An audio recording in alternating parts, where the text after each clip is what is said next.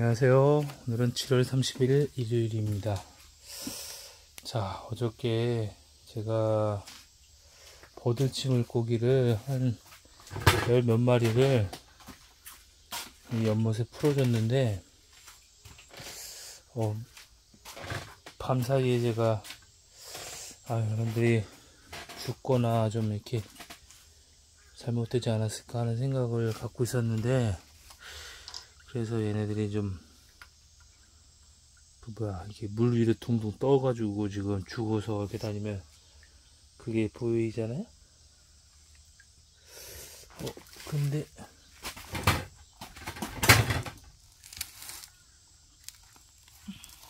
아, 여기 한 마리 죽었네요. 죽은 게 보이긴 하네요.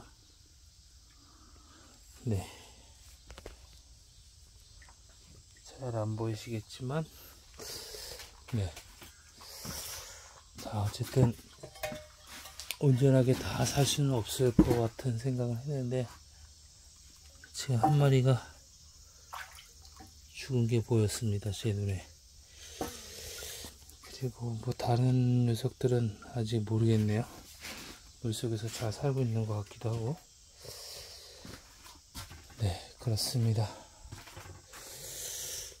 좀 어저께 상태가 안 좋은 녀석이 두 마리가 있었는데 그놈이 죽은 것 같기도 해요. 자, 아침이니까 또 여기 깡통 소리를 듣고 또 오늘 좀 밥을 좀 두 주먹 주겠습니다. 자, 여기도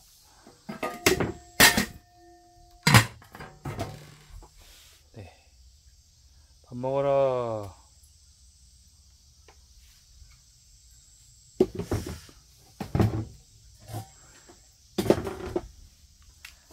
네, 밥 먹으러 나타나는 우리 버들치들입니다. 아니, 미꾸라지들입니다. 자, 어쨌든 뭐, 오! 방금 전에 버들치가 나타난 것 같았는데, 네, 여지없이 뭐, 그냥, 엄청나게 나타납니다. 여기서도, 네, 저기서, 여기저기서 그냥, 밥 먹는 소리. 버들치들이 밥을 먹는 소리가 나타나고 있습니다. 자, 아침이라서 이제 분수대가 아직 태양광이 이쪽이 그늘지고 저쪽이 지금 쨍쨍한 상태라서 네. 아, 이게 이렇게 네. 지금 이쪽 단면은 그늘이 졌죠? 네. 그래가지고 아직 가동이 안 되는 상태입니다.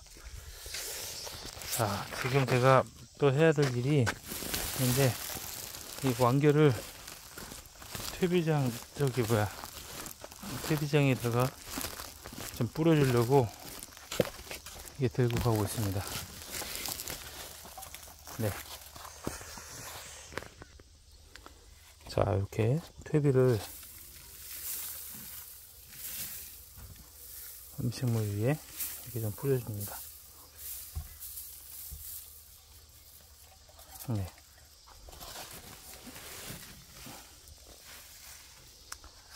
자, 이게 마른 잎이나 뭐 그런 게 있으면 더 좋은데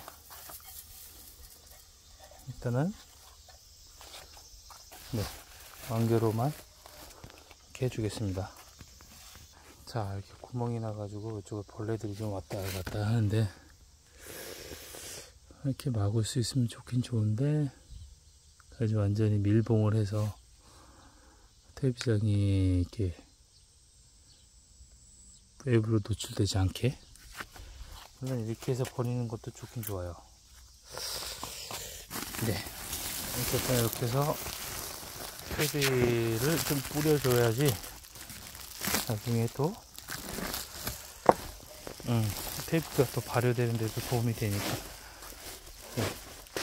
FM대로 할 수는 없어요 왜냐면은 FM 들으려면 재료가 다 있어야 되는데 지금 상황에서는 FM대로 할 수 있는 상황이 아직은 못 됩니다. 자, 이제 제가 또 아침에 또 가져온 게 있는데 그거는 이제 요가기를 만들기 위해서 미생물이 살 집을 플라스틱으로 이렇게 병, 병뚜껑 같은 걸로 플라스틱 병뚜껑 같은 걸로 하시는 분들이 있는데 저는 요걸로 이렇게 공으로 볼풀공인데 요걸로 한번 해볼 생각입니다. 자 그래서 요걸로 만들 생각인데 요 밑에다가 이렇게 스텐으로 이렇게 구부려 가지고 고기 불판인데 이쪽으로 이제 음, 이 밑에 이제 호수를 해 가지고 밑으로 물이 깔아앉아 가지고 정수된 물이 그래가지고 이제 나중에는 음, 아, 정수된 물이 깔아앉는 게 아니라 이렇게 여기 있는 물을 일로 집어넣고 나중에 이제 콕지를 여기에다가 뚫러서 이제 밑에서부터 정수돼서 올라온 물이 최종적으로 이쪽으로 다시 배출되는 식으로 해서 만들 예정입니다. 뭐 그냥 원리는 간단한데 네 요걸로 요거제 이게 입을 그냥 있는 걸로 할 생각이고 네 뭐 뚫고 뭐 하면 뭐 벌써 금방 설계가 되는데 네, 영상 따로 한번 제가 만들어서 제작해 보도록 하겠습니다 자 물이 이제 녹조 현상이 좀 심해져 가지고 네. 모기 유충도 이제 좀 많이 안 보이긴 하는데 네. 그래도 뭐 많긴 많네요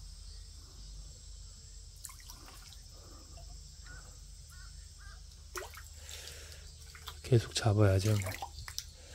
잡아가지고 나중에는 이물을 가지고 수영도 하고 양어장에 물도 주고 이렇게 가지고 쓸 수 있도록 할 예정입니다.